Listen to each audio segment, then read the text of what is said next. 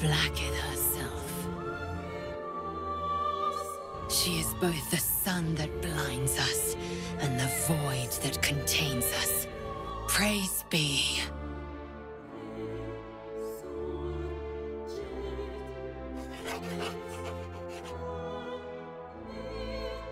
A wretched display. I thought you better than such juvenile.